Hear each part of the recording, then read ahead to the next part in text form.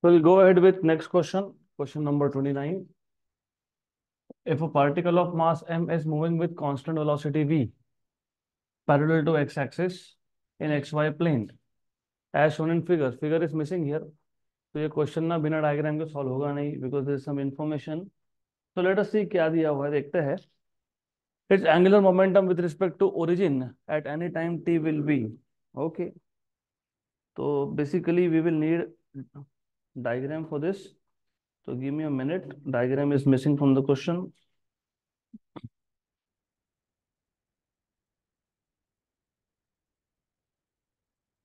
ठीक है in the meantime हम अगला क्वेश्चन सॉल्व कर लेते हैं will come back to this question again question number thirty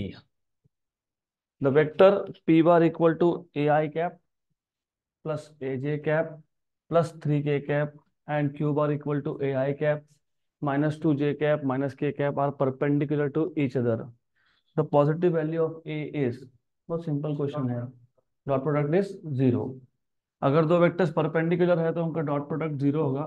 मतलब p bar dot q bar is equal to zero और आपको पता है p bar dot q bar होता है p x q x plus p y q y plus p z q z equal to zero तो P x की value है ए और क्यू एक्स की वैल्यू भी है ए तो ये बन जाएगा ए स्क्वायर पी वाई की वैल्यू है ए और वो है माइनस टू तो माइनस टू ए तो this is minus two a then minus three equal to zero तो फैक्टर्स करो माइनस थ्री प्लस वन तो a square minus three a plus a minus three equal to zero तो यहाँ से आपको मिल जाएगा if you take out a common a minus three a minus three plus one into a minus three equal to zero तो दो factor आ गए ए माइनस थ्री और a plus one equal to zero तो ए की वैल्यू या three होगी या ए की वैल्यू माइनस वन होगी उन्होंने पॉजिटिव वैल्यू पूछी है तो पॉजिटिव वैल्यू तो आ गई आपकी three done Next question. Oh, yeah. Next question. A particle moves in xy plane under the action of a force F bar such that the value of its linear momentum P bar at any time is Px equal to 2 cos t, Py equal to 2 sin t. The angle between, the angle theta between F bar and P bar at a given time T is how will you solve this question dot product तो करना पड़ेगा सही है लेकिन first of all you need to know कि आपको momentum का X component दिया है और मोमेंटम का वाई कंपोनेंट दिया है अगर आपको डॉट प्रोडक्ट क्योंकि एंगल फाइंड करना है तो डॉट प्रोडक्ट यूज करते हो तो you know already that you have to use this particular definition f bar dot p bar equal to f p cos theta वो ठीक हो गया तो cos theta equal to f bar dot p bar upon f p ये बात भी सही है what is f bar dot p bar f x p x plus f y p y upon f into p where f is magnitude of force and p is magnitude of momentum तो my question to you was कि how will you solve मतलब how will you find out f x and f y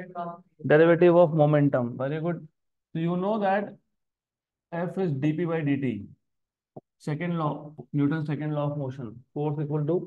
derivative of momentum तो momentum का derivative लेना पड़ेगा आपको तो आप यहाँ से एफ एक्स और एफ वाई निकाल लेना d p x by d t और यह आ जाएगा f y equal to d p y by d t you know what is p x क्या है p x two cos t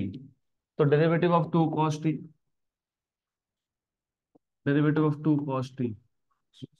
minus two sine t आ जाएगा ये okay and similarly f y is derivative of what is p y p y two sine t है तो इसका derivative आ जाएगा two cos t two cos t तो जो numerator है पहले उसको सॉल्व कर लेंगे तो सॉल्व दिस न्यूमरेटर फर्स्ट तो कॉस थीटा इक्वल टू वो नीचे एफ और पी को फिलहाल एसिड रखो F x minus two sine t P x what is P x क्या था P x two cos t two cos t plus what is F y F y F y two cos t what is P y two sine t तो यह आ गया minus four minus four sine t cos t plus four sine t cos t कितना हो गया कितना हो गया जीरो जीरो जीरो तो जीरो तो कॉस थीटा जीरो तो theta equal to theta equal to ninety degree तो both are perpendicular to each other अब ये क्वेश्चन सॉल्व करना नहीं था क्यों नहीं करना था मैंने आपको एक ट्रिक बताया था यार अगर आपके पास एक वेक्टर है उसमें दो कंपोनेंट्स है एक साइन कंपोनेंट है एक कॉस्ट कंपोनेंट है तो जब आप डेरिवेटिव लेते हो तो साइन का डेरिवेटिव प्लस कॉस होता है लेकिन कॉस का डेरिवेटिव माइनस साइन होता है मैंने आपको ट्रिक भी बताया था याद रखने का फिर हेरा फेरी ट्रिक साइन का कॉस कॉस का माइनस साइन तो जब साइन का कॉस बने और कॉस का माइनस साइन बने मतलब दोनों इंटरचेंज हो गए सिर्फ एक उसमें से कंपोनेंट हो गया नेगेटिव तो डॉट प्रोडक्ट हमेशा क्या आता है जीरो तो ये एक ट्रिक था तो अगर आपको वैसा याद था तो डायरेक्टली क्वेश्चन सॉल्व जाता है degree perpendicular factors next question अगला क्वेश्चन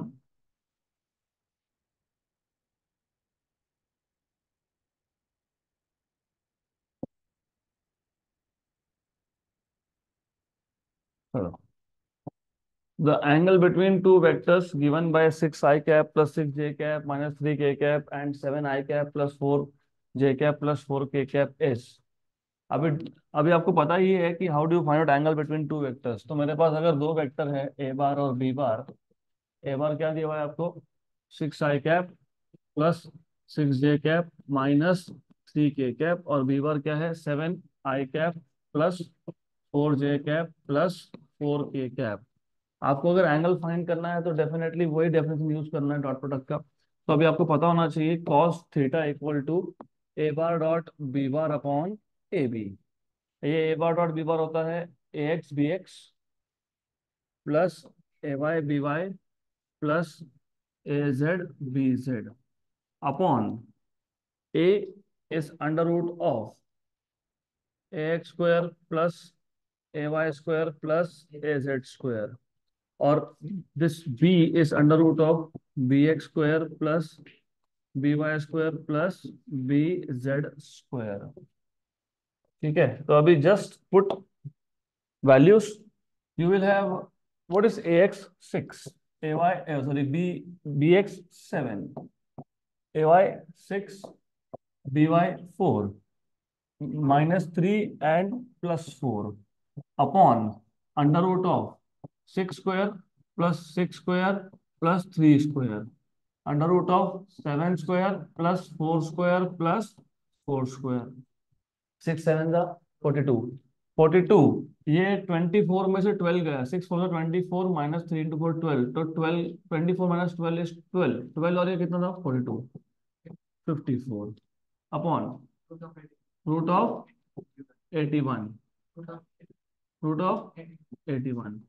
तो fifty four by nine into nine हाँ एटी वन है लेकिन करना नहीं है ना eighty one one and six तो टू बाई थ्री तो कॉस थीटा कितना आ गया cos theta two by three तो आंसर में या तो theta equal to cos inverse of two by three होना चाहिए नहीं है अगर नहीं है तो तो फिर आपको वो ट्रिग्नोमेट्रिक आइडेंटिटी यूज करना पड़ेगा कौन सा sine square theta plus cos square theta equal to one तो sine square theta plus cos square theta equal to one use कर लो वहां से आपको मिल जाएगा sine square theta equal to one minus cos square theta one minus cos square मतलब one minus two by three का स्क्वायर फोर बाई नाइन मतलब फाइव बाई नाइन तो ये आ गया साइन स्क्वायर थीटा तो sine theta will be under root of five by three तो theta equal to sine inverse of root five by three option number D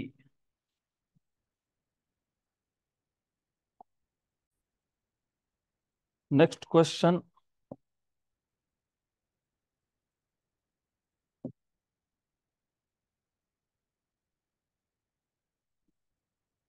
चलो अगला question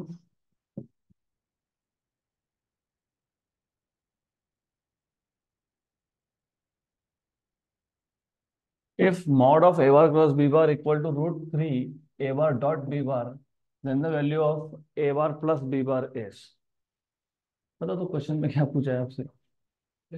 resultant पूछा है तो घुमा घुमा के बातें है यहाँ पे आपको बोला है mod of A bar plus B bar कितना है बताओ mod of A bar B plus B bar मतलब रिजल्टेंट होता है और रिजल्टेंट क्या होता है under root of A square plus B square plus two A B cos theta मतलब अल्टीमेटली अगर आपको एंगल मिल गया तो क्वेश्चन सॉल्व हो जाएगा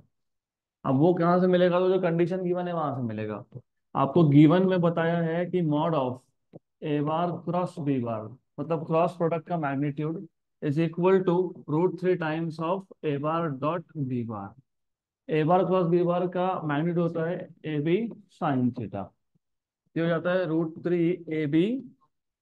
cos theta A B A B cancel तो sine theta by cos theta मतलब tan theta equal to root three तो टेन थीटा रूट थ्री तो theta equal to sixty degree theta sixty आया तो ये जो लिखा है आपने आर ये हो जाएगा under root of A square plus B square plus two A B cos sixty cos sixty is one by two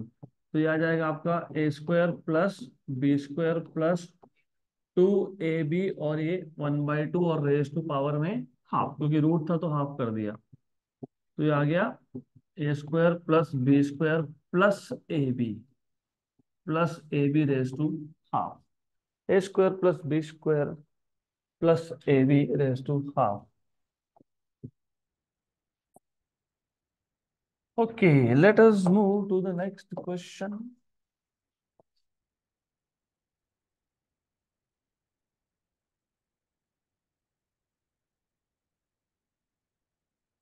Next question.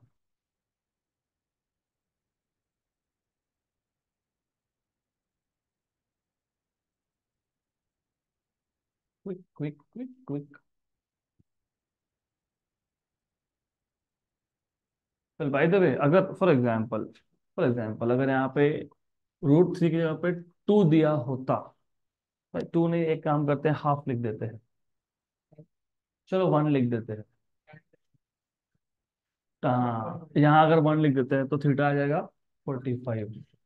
बराबर तो वहां पे आपके पास कॉस ऑफ फोर्टी फाइव क्या होता है वन बाय रूट टू तो two A B by root two root two A B दिया है क्या ऐसा नहीं दिया है ठीक है कोई बात नहीं अगला क्वेश्चन ये जैसे दिखा ना लामिस थ्योरम बस समझ लेना आपको पता है लामिस थ्योरम क्या होता है बताया था मैंने Lamy's theorem first of all is applicable for concurrent what is meaning of concurrent they start और एंड एट सेम पॉइंट तो two vectors should three vectors should start और end at the same point और coplanar मतलब they should be in same plane तो P Q and R are three coplanar forces acting at a point and are in equilibrium तो ये तीन vectors है which are in equilibrium and they are basically coplanar also given P P की value दी है आपको 1.9318 kilogram weight and you should know what is kilogram weight now what is kilogram weight वैसे weight क्या होता है M तो जब आप जी के लिए सब्सटीट्यूट नहीं करते हो उसको बोलते हो किलोग्राम वेट सिर्फ मास का वैल्यू सब्सटीट्यूट किया जी का वैल्यू 9.8 नहीं सब्सटीट्यूट किया तो क्या बोलते हैं kilogram weight sine theta one Sine of theta 1 is 0.9659. The value of R in kgwt, kilogram weight is. So according to Lami's theorem, what we can do is, Lami's theorem apply करेंगे तो आपको तो पता ही है Lami's theorem क्या है. P हाँ P upon sine of opposite angle that is theta 1 equal to Q upon sine of opposite angle that is theta 2 equal to R upon sine of opposite angle that is 150 in this case तुमको find क्या करना था R तो Q का term हमारे काम का नहीं है पी का वैल्यू कितना है 1.9318 साइन ऑफ थीटा 1 कितना है 0.9659 equal to R sine of 150 या तो साइन ऑफ 90 प्लस 60 लिख लो sine of 90 plus 60 is cos 60 what is cos 60 1 2 तो आ गया 1 2 ठीक वैसे by the way this is one का दिस इज टू का और हाफ इधर आके मल्टीप्लाई कर लेगा होगा ना होगा कि नहीं टू इंटू हाफ तो कितना आ गया one option number C one kilogram weight simple question था quick quick quick quick we have around eight more six seven more questions to go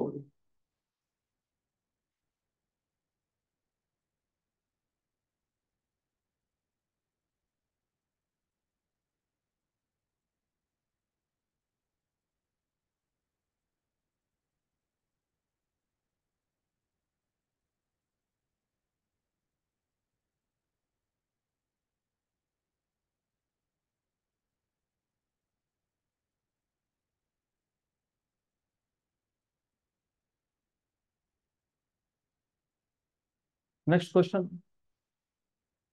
अगला question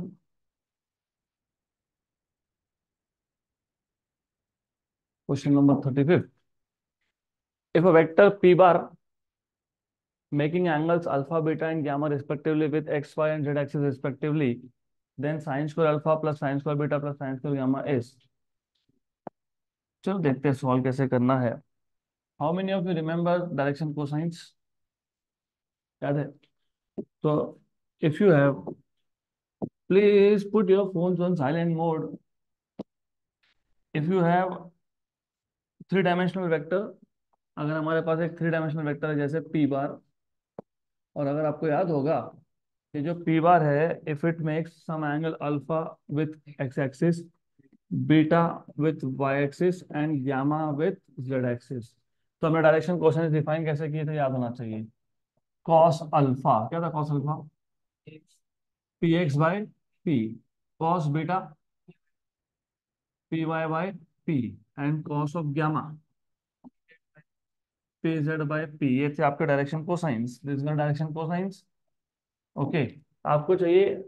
sine square alpha plus sine square beta plus sine square gamma एक काम करो पहले इन तीनों को square and add कर लो square and add these three तो method can vary okay that can vary तो इन तीनों को स्क्वायर एंड ऐड कर लेते हैं तो स्क्वायरिंग एंड एडिंग ये जो तीन हमारे पास इक्वेशन है तो you will have cos square alpha plus cos square beta plus cos square gamma equal to P X square by P square plus P Y square by P square plus Z square by P square okay तो फिर ये cos square is one minus sine square तो one minus sine square alpha plus one minus sine square beta plus one minus sine square gamma equal to ये तीनों का denominator same था तो terms को कंबाइन कर लिया P X square plus P Y square plus P Z square upon p square. One plus one plus 1, three So 3 minus sine square alpha minus sine square beta minus sine अभी sine negative sine common निकाल लिया equal to आपको पता है P X square plus P Y square plus P Z square is equal to P square तो ये क्या हो गया वन डिनोमिनेटर न्यूमिनेटर क्या है सेम है तो क्या हो गया वन फिर वन को यहाँ लेके जाओ उसको वहां लेके जाओ मतलब sines square alpha plus sines square beta plus sines square gamma ये हो जाएगा थ्री माइनस वन मतलब कितना आएगा two two answer C next question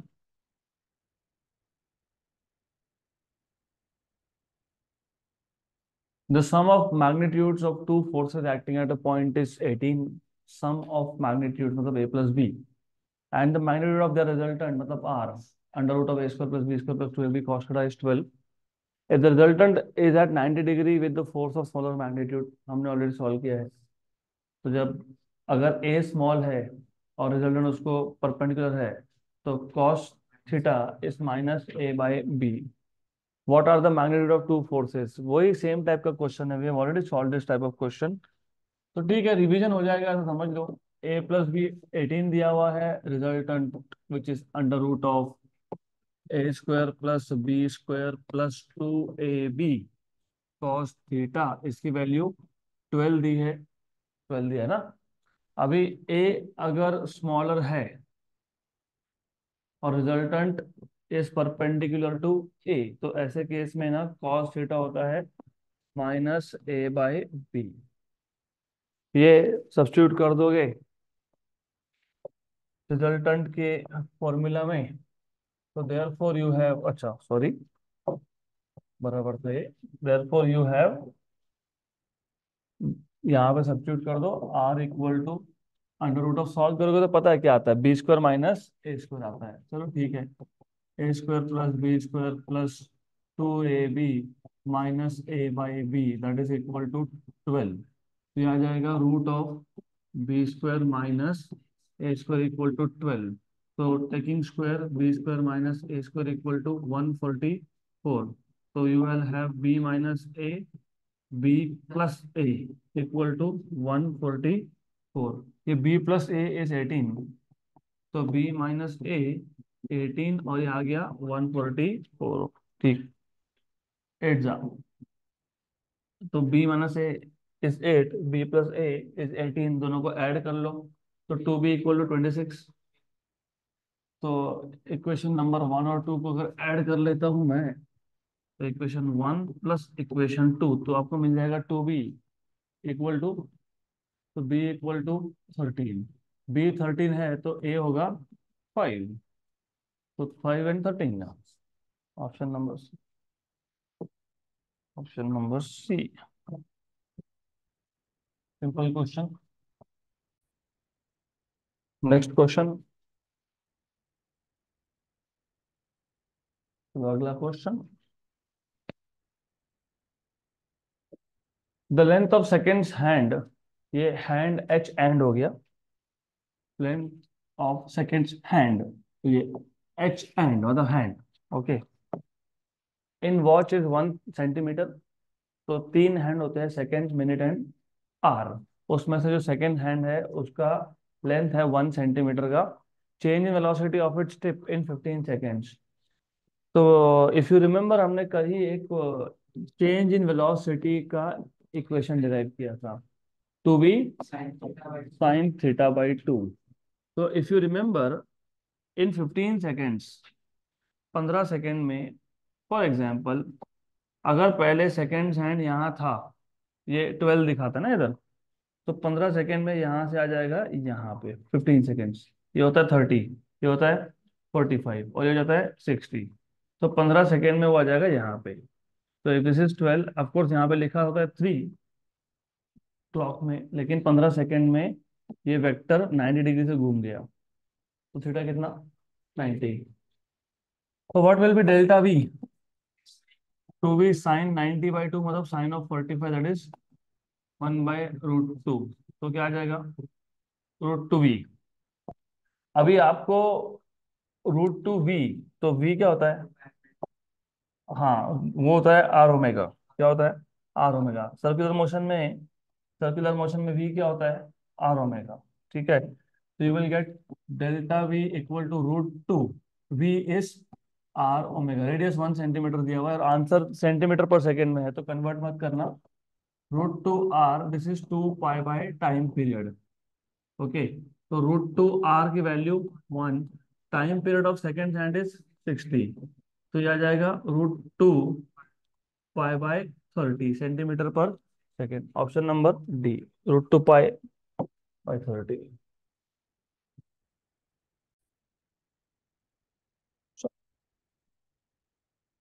Next question. Agla question.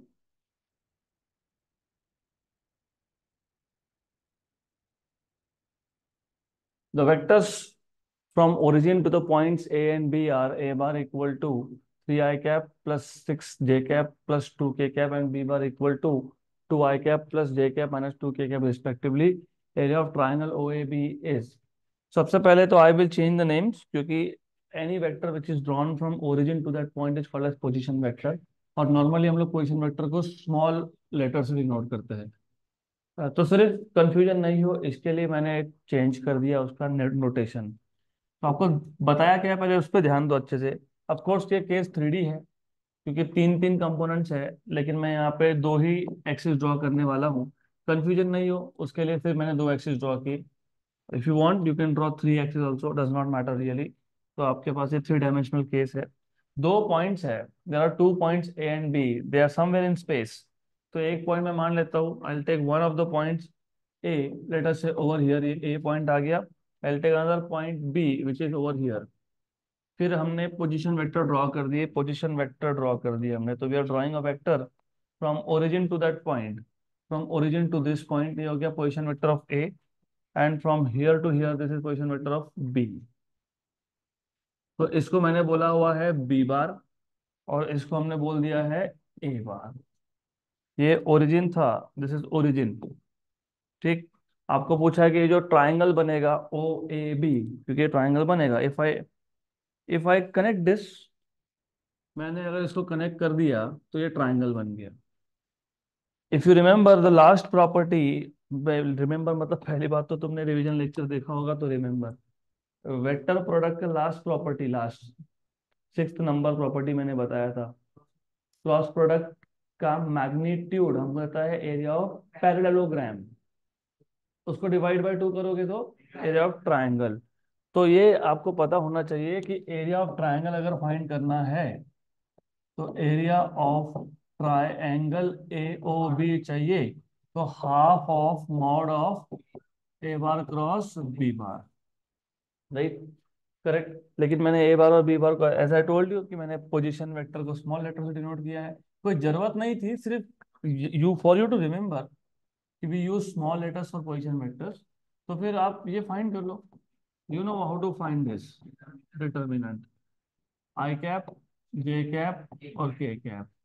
तो पहले तो मैं A bar cross B bar find कर लूंगा बाद में डिटर्मिनेंट बाद में मॉड लेता बैठूंगा उसका A X A Y A Z way X three minus six two three minus six two two one minus two तो I cap first row first column छोड़ दो twelve minus two minus J cap first row second column छोड़ दो minus six minus four plus K cap three plus twelve तो ये आपको मिल गया यहाँ से ten I cap plus ten J cap plus fifteen A cap तो अभी mod of A bar cross B bar is under root of ten square plus ten square plus fifteen square तो यह आ जाएगा hundred plus hundred two hundred two hundred और two twenty five four twenty five four twenty five into seventeen तो five root seventeen इसका half therefore area of triangle area of triangle AOB is equal to one by two into mod of A bar cross B bar मतलब ये आ जाएगा five root seventeen by two five root seventeen by two option number A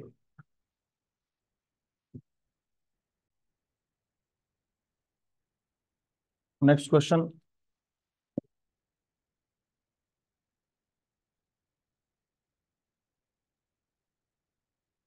the angles which a vector i cap plus j cap plus root 2 k cap makes with x y and z axis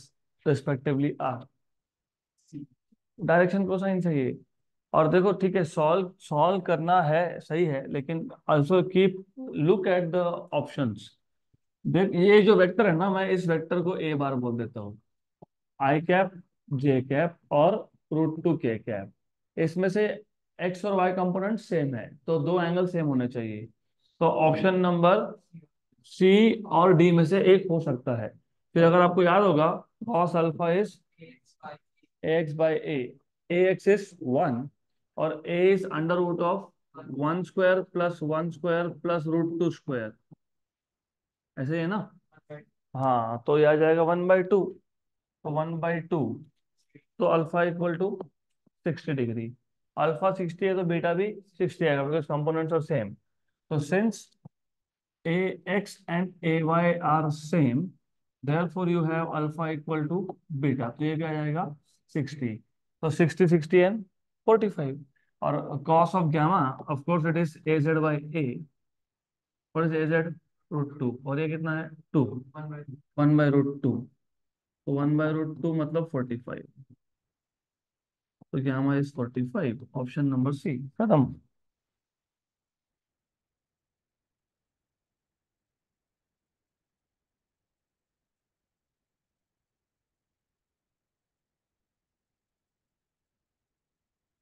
extremely simple question.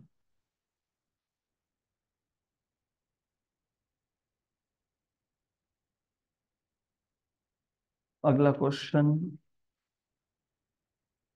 So we have last two questions, 40 and then 29, 28 जो भी था जिसके diagram में थी 29.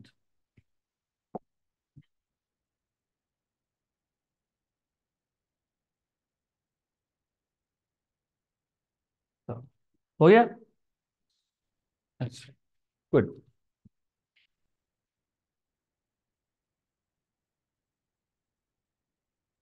what will be science को alpha plus science को beta plus science को gamma वो टू होता है irrespective of alpha beta and gamma what will cos square alpha plus cos beta plus cos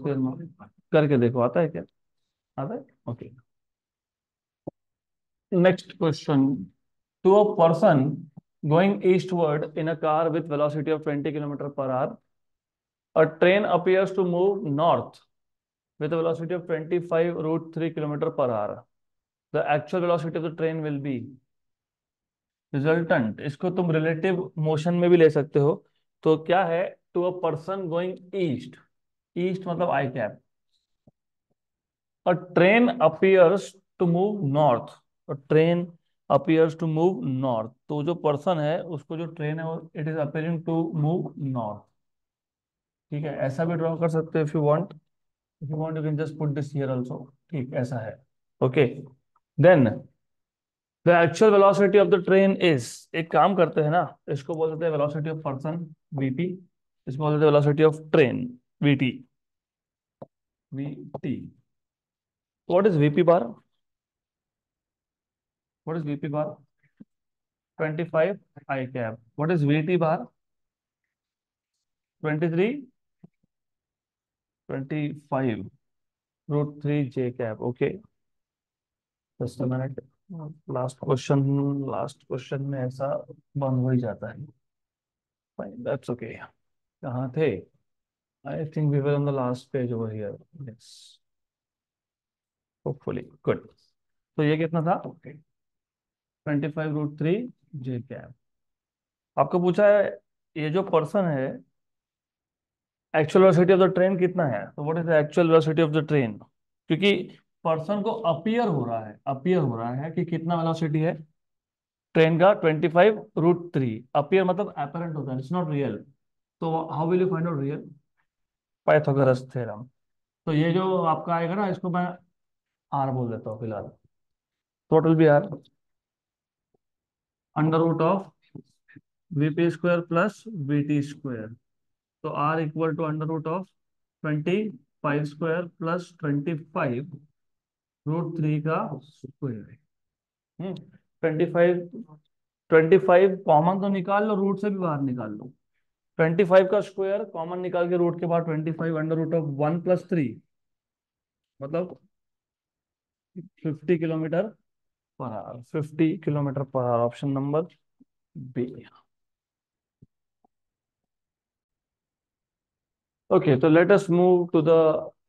last question मतलब first question of this lecture क्योंकि पहले question में diagram missing था तो now I have diagram for that question तो let us just solve that one I hope this was the question yes If a particle of mass m is moving with constant velocity v parallel to x-axis, a particle which is moving with constant velocity v parallel to x-axis as shown in figure. Figure missing tha to abhi diagram dekh lo so what we have is ek kaam karte हैं pehle to cartesian coordinate system associate kar dete हैं so let us associate cartesian coordinate system this is x axis this is y axis you have a particle let us take a particle of mass m mass m it is moving parallel to x axis जैसे bola hai na with velocity v it is moving parallel to x axis with velocity v bar this is what they are telling you फिर एक काम करता हूँ यहाँ से इसको connect कर लेता हूँ ठीक उसके बाद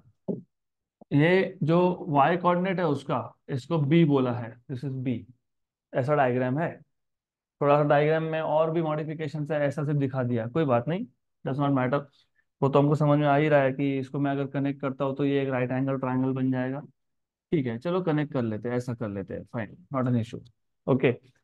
अब क्या बोला है आगे क्या बोला है it's angular momentum with respect to origin at any time will be any time t will be angular momentum कैसे फाइंड करते हैं angular momentum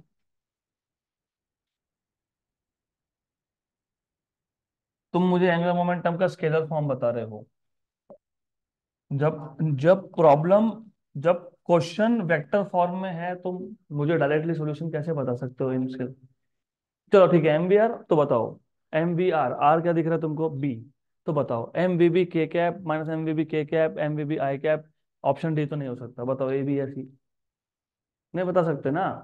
that is the reason that you should know कि पहले क्वेश्चन देख लो अच्छे से angular momentum तुमको वेक्टर फॉर्म में पूछा है और एम वी आर होता है पता है तो m v b m v b m v b A B और सी में से कौन सा नहीं पता इसके लिए you have to solve this you will have this as r bar cross p bar और आपको पता है ये डिटर्मिनेंट होता है i cap j cap k cap फिर आपको ये भी पता है ये होता है आर एक्स आर वाई और आर जेड ये होता है पी एक्स पी वाई और पी जेड जो सॉल्यूशंस आपको ऑनलाइन या फिर जो सॉल्यूशन आपको बुक में मिलेगा ना वो बहुत कंफ्यूजिंग सॉल्यूशन है थोड़ा सा सोचो समझ में आ जाएगा तुमको ज्यादा कुछ डिफिकल्ट है नहीं ये सिर्फ सोचना पड़ेगा बताओ बताओ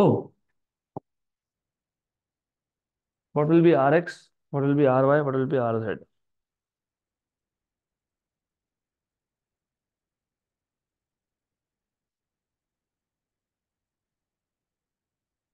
think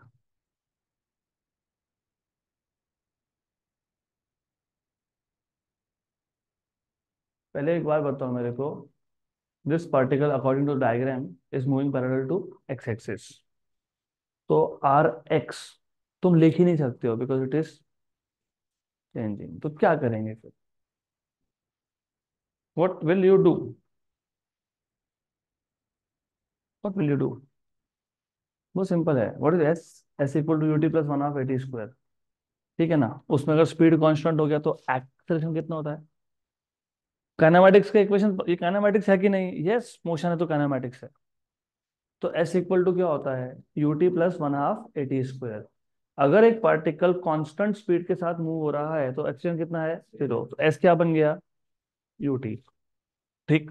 बराबर यू टी यू टी तो यहाँ पे मुझे एक बात बताओ मोशन अलोंग विच एक्सिस है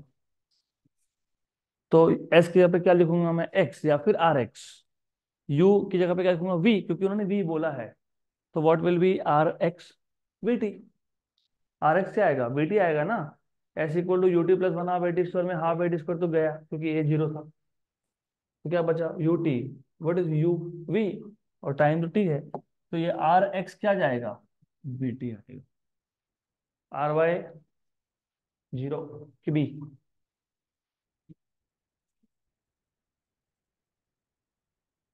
zero की b r y is y y component दिख रहा है इधर पक्का हाँ और ये है zero there is no z component two D problem है ये what is p x what is momentum mass into velocity ठीक तो p x is m v x and what is v x what is v x motion किस direction में है और कितने speed के साथ है वी तो मैं क्या लिखूंगा यहाँ पे एम वी और y कंपोनेंट है क्या नहीं z कंपोनेंट है क्या नहीं जीरो खत्म बात ज्यादा क्लियर अभी तुम डिटरमिनेंट कैसे सॉल्व करते हो फर्स्ट रो फर्स्ट कॉलम छोड़ दो वो तो जीरो जीरो ही हो जाएगा first row second column zero first row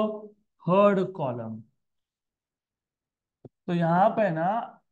आई कैप के साथ जीरो आएगा जे कैप के साथ भी जीरो आएगा लेकिन के कैप के साथ जीरो नहीं आएगा first row third column zero zero minus minus m v b तो आंसर आ जाएगा आपका minus m v b k cap तो minus m v b k cap है ऑप्शन नंबर बी तो ठीक है this is the end of this chapter वेटस खत्म